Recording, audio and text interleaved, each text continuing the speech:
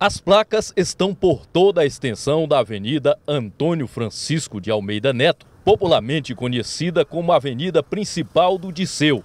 Elas indicam a proibição de estacionar. E é aí que as dificuldades surgem.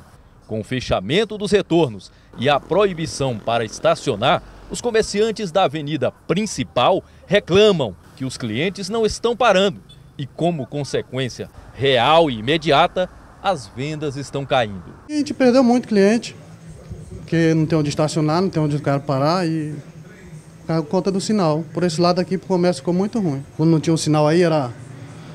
Não faltava aqui cliente, era muito cliente cheio direto. E depois do sinal aí caiu muito. E não são apenas os comerciantes do setor de alimentação.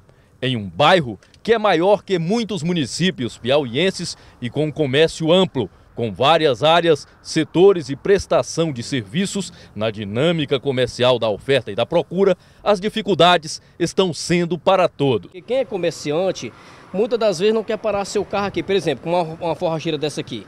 Eu tive que pegar ali, trazer até aqui no ponto do comércio, porque a prefeitura não dá direito mais a pessoa parar aqui nem um segundo, nem para descarregar o peso, trazer até o estabelecimento. Aí, aí fica nessa situação, comércio parado, comércio quase fechando, muita gente já se mudando de ponto, porque é muita dificuldade. A gente tem funcionário para pagar, tem contadora, tem água, tem luz.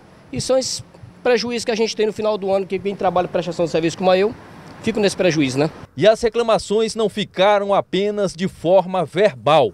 Os comerciantes formalizaram as reivindicações no papel. Tem uma baixa assinada lá na Trans e tá rolando aí. Marcaram reunião, mas não decidiram nada que acontece que sempre que os clientes param aqui, ah, chega esse transmutando os carros.